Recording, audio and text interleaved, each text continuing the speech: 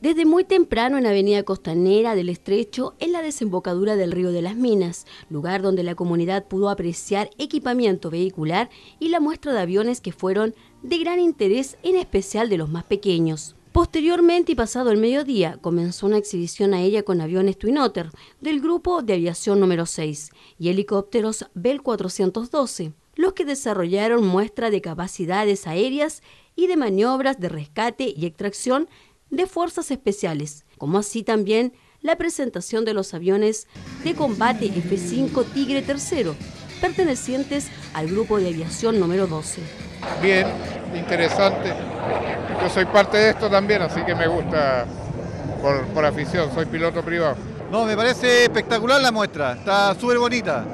Y lo bueno también es que tocó un lindo día. Buena, muy entretenida, eh, fuera de lo común, entretenida sobre todo para los niños. Muy bonito, todos los años que lo hacen, eh, lo hacen muy eh, con harto público y tratan de hacerlo lo mejor posible, yo creo. Está muy bonito.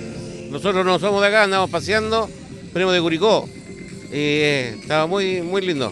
Hermosa la presentación. De esta forma, y con el tradicional desfile conmemorativo que se desarrolló en la Plaza de Armas Benjamín Muñoz Gamero, la Fuerza Aérea de Chile celebró el mes del aire en la que la institución cumplió 86 años de vida.